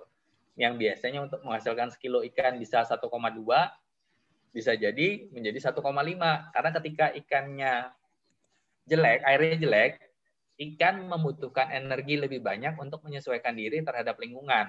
Sama kayak kita, kalau sekitarnya kita nyaman, enak, happy, kita makan dikit gemuk, kita nggak stres. Tapi kalau kita lingkungannya panas, stres, kita makan banyak pun tetap aja kurus-kurus. Karena energi yang kita pakai untuk mempertahankan diri terhadap lingkungan. Jadi penting untuk teman-teman menjaga oksigennya, menjaga pH-nya tidak drastis, suhunya tidak drastis dalam berbudidaya. Kemudian kualitas benih itu juga berpengaruh. Ada benih tertentu yang dikasih makan segimanapun juga nggak gede-gede. Uh, kerataan benih itu juga berpengaruh. Jadi kalau benihnya tidak rata, teman-teman, yang gede akan makan terus. Yang kecil nggak makan. Ketika nggak makan ini FCR-nya jelek. Yang gede FCR-nya bagus, tapi secara rata-rata akan jelek. Jadi penting benih rata sehingga makannya bisa seragam dan efeknya adalah FCR-nya akan jadi baik. Jadi kalau benihnya seragam, FCR-nya pasti bagus. cara pemberian pakan itu juga penting. Kalau kita ngasih makannya terlalu apa ya tergesa-gesa, nggak langsung habis, itu akan banyak pakan yang tidak termakan. Pakan yang tidak termakan tadi membuat FCR-nya juga jelek. Uh, kalau pakannya tadi uh, apa namanya uh, kita kasihnya over tentu masalah. Kalau kita kasihnya kurang juga akan masalah FCR-nya. Jadi harus pas. Kepadatan tebar juga berpengaruh. Kalau semakin tinggi kepadatan tebar tanpa dibarengi oleh kualitas air yang baik, ikannya akan lebih mudah stres. FCR-nya juga akan naik. Jadi tadi selain faktor pakan, teman-teman, faktor-faktor yang lain ini yang juga berpengaruh. Jadi kalau hasilnya jelek, belum tentu pakan yang jelek. Bisa jadi air yang jelek, bisa jadi benih yang jelek, bisa jadi, caranya kita yang ngasih makan yang salah. Jadi eh, tadi yang berpengaruh. Kemudian di dalam pemeliharaan selain FCR juga ada istilah feeding rate. Jadi jumlah eh, persentase harian pakan yang kita kasih berbanding biomasa. Jadi kalau saat-saat awal, benih awal biasanya bisa 10%, benihnya ada 100 kilo, kita kasih makannya 10 kilo. Tapi tambah besar benih tadi, tambah berkurang secara persentase. Nah, ini yang biasanya kita jadikan patokan. Berapa banyak sih pakan yang kita kasih, seperti itu. FR-nya. Oke, dan juga feeding frekuensi, berapa banyak kita ngasih makan. Uh, tentu kalau dari awal, semakin kecil itu semakin sering. Jadi sama kayak manusia saat bayi kita dikasih minum susu dua jam sekali, semakin besar cukup sehari tiga kali. Mirip-mirip lah dengan di lele. Karena kan pencernaannya belum berkembang dengan baik, penyerapan nutrisinya juga belum berkembang dengan baik, jadi dia makannya semakin sering. eh, kira-kira itu. Kemudian lele bagusnya dikasih makan kapan? Uh, sebenarnya lele kan nokturnal, jadi di malam dia akan makan lebih banyak. Tapi kalau manajemen airnya tidak baik, ketika malam makan banyak, pagi oksigennya drop, amonianya naik, kematian di pagi akan banyak. Jadi kalau teman-teman bisa menjaga kualitas airnya dengan baik, makan malam itu bagus di lele. Tapi kalau airnya tidak dimanage dengan baik, makan malamnya justru akan membuat menjadi lebih bermasalah. Jadi tergantung. Nah, uh, saya, kalau menurut saya teman-teman pakan itu teman-teman penting untuk memperhatikan karena eh, pakan itu adalah sumber 70% biaya dalam berbudidaya. Eh, banyak yang bilang, "Pak, pakan mahal, saya buat pakan sendiri aja ya." gitu kan. Eh, ini sih pandangan saya teman-teman tidak tidak apa ya, mungkin benar, mungkin tidak benar, tapi ini pandangan saya. Yang pasti saya sudah berkeliling Indonesia, semua pembudidaya besar saya sudah main, saya tidak pernah melihat pembudidaya yang buat pakannya sendiri yang menjadi kaya raya. Yang besar-besar itu rata-rata menggunakan pakan pabrik. Kenapa mereka tidak bisa membuat pakan sendiri dan akhirnya menjadi besar sekali? Satu, berbisnis pakan sama berbisnis budidaya ini memiliki membutuhkan keterampilan yang berbeda. Kalau kita mau bisnis pakan, membuat pakan, kita butuh cari bahan baku yang murah, kita butuh mesin yang baik, kita butuh kemampuan formulasi yang baik. Sedangkan bahan baku ini kualitasnya naik turun. Sekarang bagus, besok belum tentu. Kemudian kalau itu digabungkan menjadi satu, teman-teman buat pakan sendiri, kemudian budidaya sendiri bisa bagus, bisa menguntungkan, tapi susah besar. Karena kalau teman-teman mau besarin kolam, teman-teman mesti mikir bahan baku pakannya nyari di mana lagi ya. Nah, itu menjadi susah. Dan di Indonesia ini teman-teman sekalian, pabrik pakan yang masuk ke Indonesia ini bukan hanya dari satu negara. Saat ini kita top 10 terbesar di dunia semuanya ada di Indonesia. Nomor satu ada Charon Pokpan, uh, Thailand, di kita juga uh, terbesar sekarang. Nomor dua dunia ada Tongwei dari Cina, udah di sini juga. Nomor tiga dunia ada Cargill dari Amerika, udah di Indonesia juga. Nomor empat ada uh, saya lupa The House kalau nggak salah Belanda. Di kita juga sudah masuk mengakuisisi global. Uh, ada di Indonesia juga. Nomor lima ada New Hope dari Cina juga ada di kita. Jadi yang besar-besar di seluruh dunia mulai dari negara komunis, kapitalis dan lain-lain semua udah di sini. Jadi menjadikan pasar pakan ini menjadi pasar persaingan sempurna. Jadi saling saingan. Di luar pakan lokal kita ada Sinta, ada Wonokoyo, ada Java Confit, ada Matahari Sakti itu pakan lokal kita. Jadi dari luar negeri pada masuk, pakan lokal kita juga banyak yang gede-gede. Jadi bersaing sempurna. Kalau saran saya, teman-teman uh, lebih baik memilih di antara pakan-pakan tadi untuk budidaya awal dibanding membuat pakan sendiri. Tapi tentu tadi karena FCR kan tadi harga pakan tidak mencerminkan biaya pakan. Oke, sama-sama pakai pakan A, misalkan pakan Sinta, misalkan. Tapi teman-teman kalau dengan budidaya yang baik, manajemen airnya baik, menggunakan probiotik yang baik, hasilnya akan berbeda dengan yang lain karena tidak melakukan manajemen budidaya yang baik. Itu akan berpengaruh. Jadi input pakan yang sama tidak selalu menghasilkan hal yang sama gitu ya teman-teman sekalian ya. Jadi bisa bisa sangat-sangat bervariasi. Saran saya lihat di daerah teman-teman pakan apa yang ada distributor besarnya. Karena yang mempengaruhi harga pakan adalah distributornya. Misalkan eh, di daerah saya, misalkan eh, pakan global tadi, eh, Safir, harganya bagus, banyak yang pakai. Otomatis di daerah saya tadi harga pakannya bersaing karena distributor besarnya sekali ngambil itu menggunakan tronton, kontainer. Nah, di daerah lain belum tentu menjadi sama. Karena di daerah lain pakan tadi belum populer, sehingga ngirimnya masih menggunakan mobil kecil. Akibatnya harga pakannya jadi mahal, karena mobilnya di daerah saya masuknya tronton, di daerahnya rekan-rekan sekalian masuknya menggunakan pick up di daerah saya karena distributornya besar, dia bisa membeli dalam jumlah banyak ke pabrik. Di daerah rekan-rekan belum tentu, karena tadi bisa jadi belinya eceran, akhirnya mahal. Jadi teman-teman perlu tahu di daerah teman-teman sekalian pakan apa yang yang memang penggunanya banyak. Kalau penggunanya banyak, biasanya distributornya sudah besar dan harganya masuk. Uh, tapi ada ada kalanya ketika ada pakan baru masuk mau membentuk distribusi baru juga bisa jadi itu tergantung Kemudian pakan tipe apa juga berpengaruh. Ada pakan tipe apung dan pakan tipe tenggelam. Pakan apung rata-rata Rp1.000 lebih mahal dibanding pakan tenggelam. Sebenarnya secara protein sama aja. Hanya pakan tenggelam kan teman-teman tidak bisa eh, memantau apakah seluruh pakan ini dimakan atau tidak. Kalau teman-teman orangnya cukup telaten, saran saya menggunakan pakan tenggelam karena lebih murah seribu, gitu kan. Uh, tapi kalau teman-teman tidak terlalu telaten, ya pilihannya pakan apung.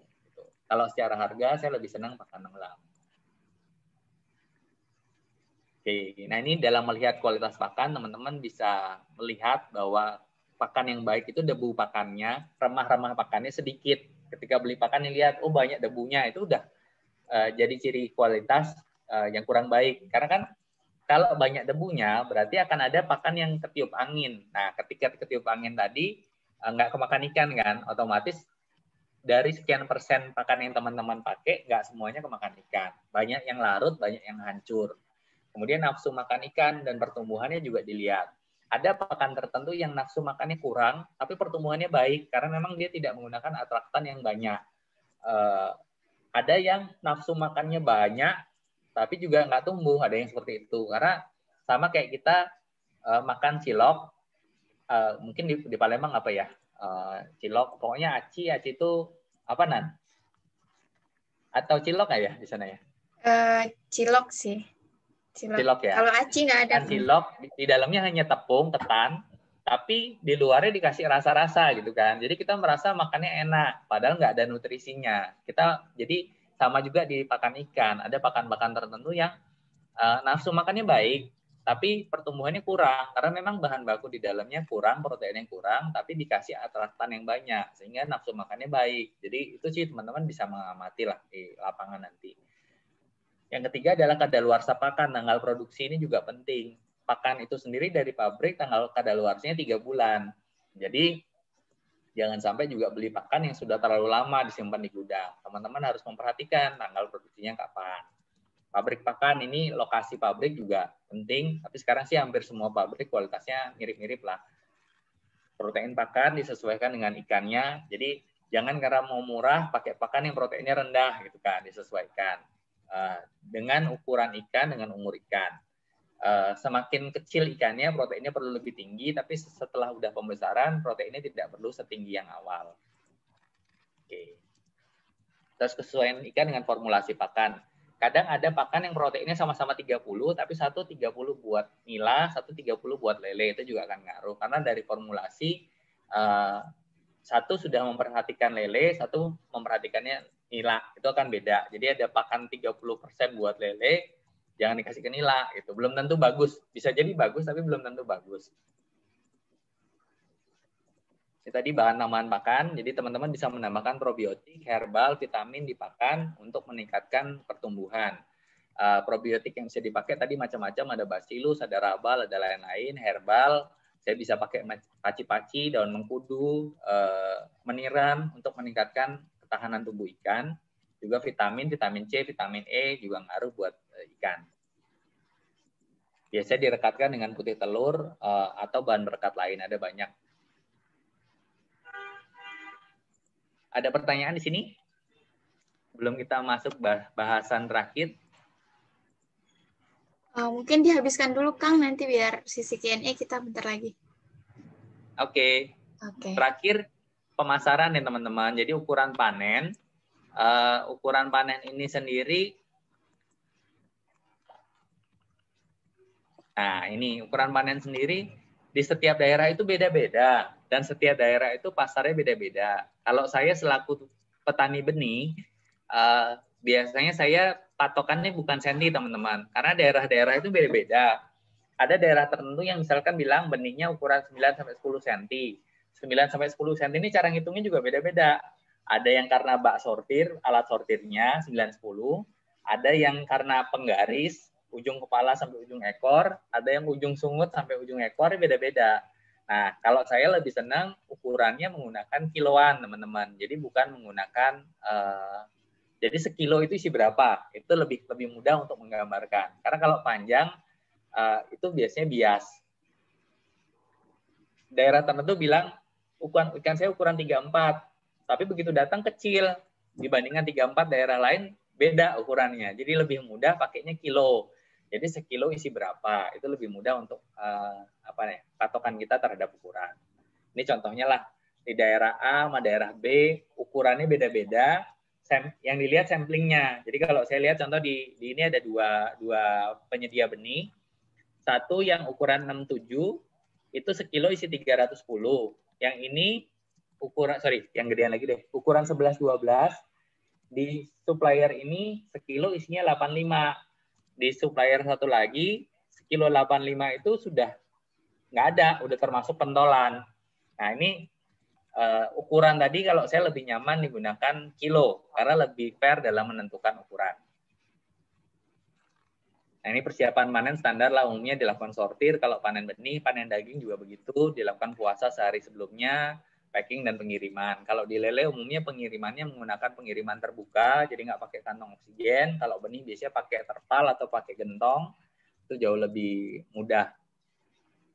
Nah ini yang diperhatikan samplingan, sekilo isi berapa, karena kadang-kadang uh, ikannya panjangnya panjang, ukuran nyampe, tapi beratnya nggak nyampe. Jadi paling gampang tadi samplingan. Kemudian di beberapa daerah uh, kayak di Indramayu.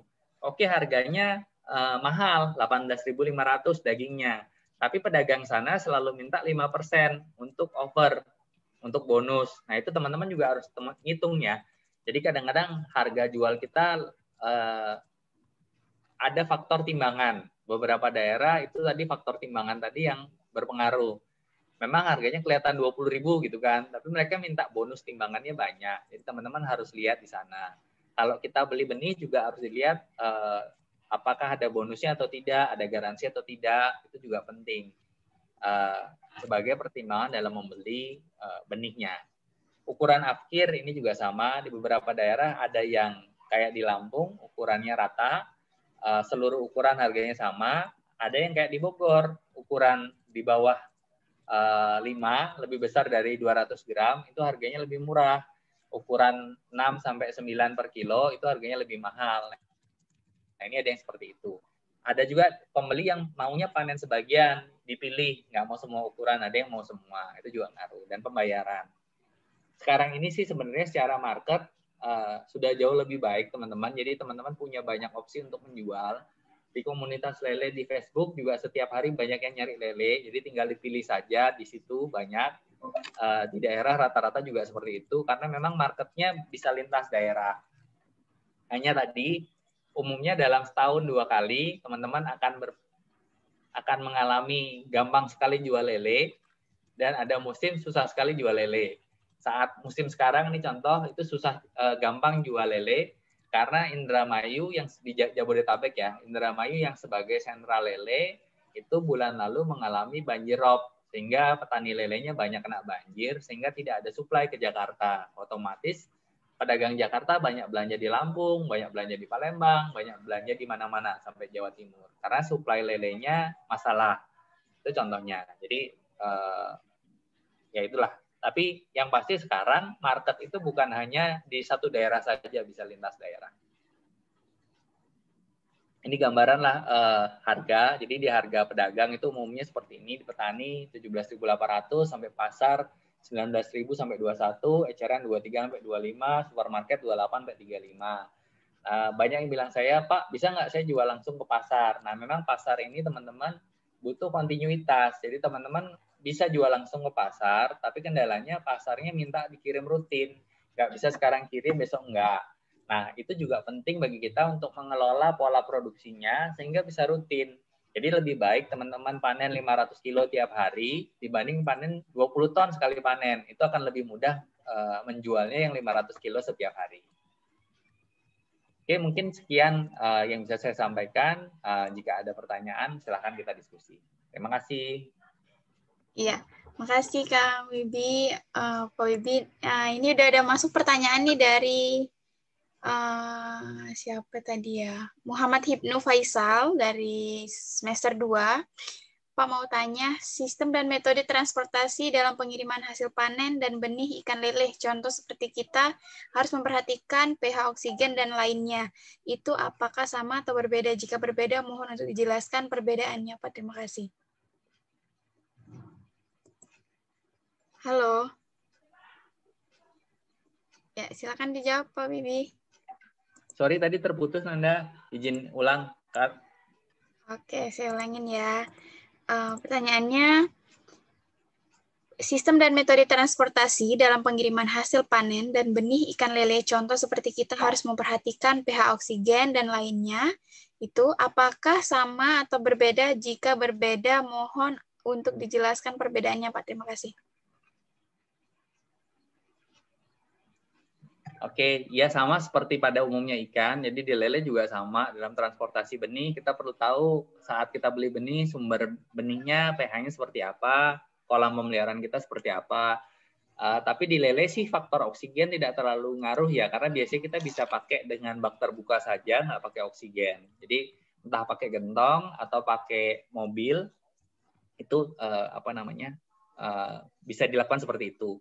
Umumnya kalau di sini transportasi benih lele ditambahkan sedikit minyak sayur untuk mengurangi busa yang ada di permukaan. Biasanya ketika dia di packing itu dia akan banyak keluar lendir, lendirnya akan banyak buat busa dan itu mengganggu dia dalam mengambil oksigen di atas. Jadi kita kasih minyak supaya permukaannya bebas dari uh, apa busa.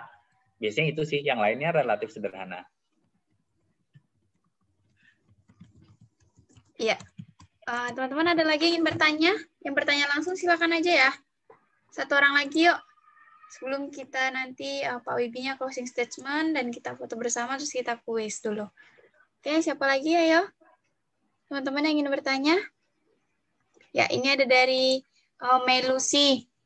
Pak, dari semester 4 izin bertanya atau Melusi mau bertanya langsung silakan Melusi.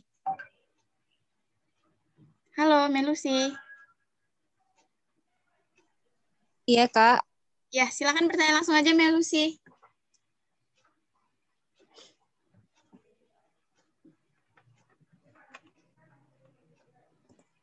Halo. Ya, Kak. Sinyal susah-susah, Kak. Soalnya sering hujan di sini masih. Oke, saya bacakan Oke, saja ini ada ya. sudah di grup chat ya? Ya, di grup chat, Pak. Saya bacakan ya, teman-teman. Uh, Izin bertanya, Pak. Rencana orang tua saya ingin budidaya di daerah Oki, Orga, Ogan Komring Ilir ya. Renca, uh, karena masih awam, beliau masih ragu-ragu dalam pembuatan kolam karena di daerah Oki banyak sekali pepohonan duku. Rencananya pembuatan kolamnya pakai terpal di bawah pohon-pohon duku tersebut yang cuacanya pasti ya dingin dan tidak terlalu terpapar matahari. Pertanyaannya Pak, apakah bagus budidaya di tempat tersebut Pak? Menarik nih. Uh, Melusi, terima kasih. Jadi teman-teman sekalian, Uh, sebenarnya kalau dingin terus atau pak itu nggak masalah ya buat lele. Di Bogor pembesaran lele ada di daerah puncak yang suhunya 24 sampai 25 derajat. Jadi nggak masalah kalau dingin terus. Nggak kena matahari sama sekali di dalam ruangan juga nggak masalah sebenarnya. Uh, di banyak daerah banyak kok yang dalam ruangan tertutup uh, seperti itu. Nah, uh, tantangan di bawah pohon duku sebenarnya menurut saya sih tidak masalah kalau masalah dingin itu bisa diakali dengan kolam yang uh, agak dalam. Jadi kalau menggunakan kolam terpal, dalamnya minimal 70 atau 80 kalau bisa semeter. Itu akan banyak membantu. Uh, yang kedua, kalau di bawah pohon. Tapi yang penting di awal adalah penyesuaian benih masuk, Lucy. Seringkali benihnya biasa panas, ketika masuk ke daerah itu dingin. Jadi sumber benihnya uh, penting untuk dicari tahu supaya suhunya nggak kaget. Sebenarnya nggak apa-apa, mau dingin terus nggak apa-apa asalkan benihnya sudah biasa. Kayak misalkan benih itu jauh lebih mudah untuk adaptasi dari daerah uh, dingin ke panas dibanding panas ke dingin. Kalau biasanya daerah panas dipelihara di daerah dingin biasanya gampang mati. Tapi sebaliknya biasanya beli benih dari daerah dingin dikirim ke daerah panas nggak apa-apa. Umumnya seperti itu. Kemudian kalau di bawah pohon duku, masalahnya adalah daun duku itu banyak jatuh. Jadi itu akan uh, merusak kualitas air. Jadi penting dipastikan kalaupun di bawah duku daunnya jangan sampai uh, masuk ke kolam. Terus eh, kira-kira itu sih. Tapi kalau susah dapat benih yang dari daerah dingin, lebih baik saran saya ya yang cari daerah yang kena panas itu lebih mudah. Kalau di daerah dingin tadi uh, mengatur airnya sih lebih susah. Jadi saran saya meskipun sebisa mungkin tetap kena matahari meskipun sedikit pakai yang air merah tadi. Air merah tadi ini kok apa namanya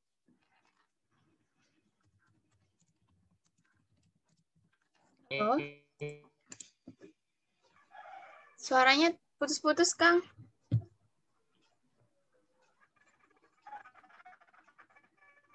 Oke, sorry Suaranya tadi, tadi ada yang telepon. Oh iya. Oke, nah, ya kira-kira seperti itu. Oke, gimana Baik, Mei? Udah jelas ya? Melusi ini sepertinya ya. orang tuanya bos duku nih. Yang sering suplai ke Jakarta, iya, Pak. Oke, teman-teman, udah cukup ya Melusi ya? Ya, Kak. Oke, teman-teman masih ada lagi yang ingin bertanya? Mungkin udah cukup ya? Atau uh, Bapak Ibu dosennya? Kalau ada rekan-rekan dari kalau ada rekan-rekan dari Unit Sumatera Selatan yang ada libur dua bulan mau magang di kolam juga memungkinkan. Jadi uh, apa ya? Kalau memang tertarik di budidaya lele uh, dan ada waktu untuk magang, bisa kontak uh, saya atau Nanda uh, untuk magang di kolam untuk belajar juga tidak masalah. Jadi uh, semoga dengan forum ini uh, bisa jadi silaturahmi juga untuk teman-teman uh, dan ke Iwake. Iya, siap. Tuh teman-teman udah dikasih fasilitas sama uh, Pak Wibi. Kalau teman-teman ada yang ingin nanti magang uh, di Iwake ataupun channel link lainnya dari Pak Agus ya gitu ataupun Pak Wibi. Ya. Uh, Bapak Ibu dosen mungkin ada yang dipertanyakan cukup ya. Bu Serli atau Bu Elmezi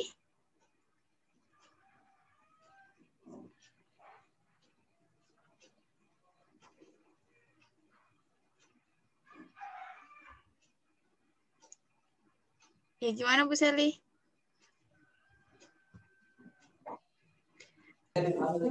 Ya, Mbak Nanda. Ya, ini materinya sudah Bu. Uh, kita uh, statement ya dari Pak Widi ya. Silakan ya, Pak Widi. Kalau materinya sudah banyak juga. Sudah banyak ya. Yang sudah. Kan Pak oh, terus uh, mahasiswa-mahasiswa juga bisa banyak catatan ini. Apalagi tadi terima kasih sekali Pak Agus. Kita dikasih apa namanya uh, welcome nih untuk bisa magang di uh, Iwake gitu. Itu kesempatan yang sangat luar biasa. Artinya mahasiswa di sini memang masih semester 2 semester 4 tapi uh, harus dimanfaatkan kesempatan itu gitu ya Pak ya betul Bu belajar jadi entrepreneurship ya Bu ya Ya, benar. Ya. Uh, mungkin cukup sekian untuk materi kita pada siang hari ini. Kang Wib, uh, Pak Wibi, silakan closing statement dulu, Pak. Oke, uh, terima kasih rekan-rekan sekalian. Uh, semoga materi hari ini bermanfaat. Cuma memang pembelajaran uh, bukan hanya dari hari ini. Hari ini saya hanya menyampaikan sekilas, jadi hanya dua jam. Uh, semoga kalau memang teman-teman tertarik bisa lihat di YouTube banyak sekali metode-metode pembelajaran yang sekarang jauh lebih terbuka kesempatan rekan-rekan sekalian untuk magang juga terbuka di banyak tempat. Jadi silahkan meskipun sekarang tidak bisa uh, kuliah tatap muka, sumber pembelajaran bukan hanya di kampus saja, teman-teman bisa belajar bahkan dari India, dari negara-negara lain. Di online banyak kok yang tersedia seperti itu. Hanya memang harus disesuaikan dengan kondisi di sini. Jadi tidak semuanya ilmunya diserap mentah-mentah, harus disesuaikan dengan uh, kondisi di lapangan. Uh, saya sendiri terbuka untuk diskusi, terbuka untuk magang, terbuka untuk kolaborasi dengan rekan-rekan sekalian karena saya yakin Sumatera Selatan pasti bisa menjadi sentra budidaya yang besar di kemudian hari. Sumber airnya banyak, kemudian aksesnya dengan akses tol juga kirim ke Jakarta tidak susah. Uh, sebagai gambaran 2007 saya semester 6 di kampus, semester 7 sudah jualan benih ke Palembang setiap minggu hampir tiga mobil benih patin. Jadi uh, sudah sering bolak-balik mulai SP Padang, Oki, OI, sampai daerah Lubuk Linggau itu sudah jualan benih ke sana. Memang paling banyak daerah Belitang, uh, apa Kayu Agung, uh, Indralaya itu banyak jual ke sana. Tapi potensinya saya tahu sendiri Sumatera Selatan sangat-sangat potensial. Jadi teman-teman uh, apa ya silahkan waktu yang ada, kesempatan kuliah yang ada dimanfaatkan semaksimal mungkin. Gitu. Sayang kan kalau teman-teman punya potensi tapi tidak dimanfaatkan. Mungkin itu aja Nanda. Uh, Oke, terima kasih Pak Wibi ya. Uh, kita sharing pengalaman tadi, pengalaman dari Pak Wibi bagaimana mungkin yang sudah dahulu terjun ke dunia bisnis perikanan. Jadi yang lebih banyak pengalamannya ataupun yang lebih banyak gagal, jadi di uh, sharingkan ke kita ya teman-teman semuanya.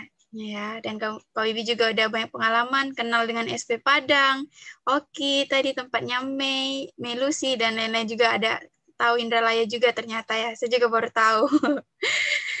Kebetulan Pak Wibi ini juga adalah uh, dosen saya di, di uh, Pasca di Poltek AUP juga gitu. Jadi uh, ya kurang lebih mengenai bisnis perikanan itu udah agak sedikit paham ya teman-teman. Oke, terima kasih sekali lagi kepada Pak Wibi dan teman-teman semuanya. Sebelum kita kuis nanti di akhir ini, kita foto bersama dulu ya teman-teman ya semuanya. Silahkan untuk on cam kameranya. Yang belum sisiran boleh sisiran. Yang belum pakai lipstick silahkan pakai lipstick dulu. Yang belum mandi tapi jangan mandi dulu ya, kelamaan kita nunggunya. Oke? Siap semuanya? Ibu Elmezi? Sebenarnya sambil lagi sambil masak Ibu ya. Siap? Oke. Gaya formal dulu ya semuanya. Yang lain yang belum menghidupkan kamera boleh silakan. Siap? Satu, dua, tiga. Oke, boleh gaya bebas dong semuanya. Satu, dua, tiga. Ya, oke. Terima kasih semuanya. Uh, oke, terima kasih sekali lagi kepada Kang Bibi. Ya. ya, terima kasih ya Kang. Sehat selalu ya Kang. Semoga ilmunya bisa bermanfaat bagi adik-adik uh, di USS dan itu depannya kita bisa kerjasama. Amin. Oke. Terima kasih Pak Agus. Terima kasih Bu Pak. Yang pertama ya Pak ya, ada kelanjutan kelanjutan lagi. Teman-teman, kita uh, kuis dulu ya. Silakan masuk di link kuis yang saya kirimkan di Zoom. Post test ya kak? Iya kita post test dulu ya. Nanti yang ranking satu akan dapat hadiah, dua dan tiga juga. Ini option? Sudah siap semuanya?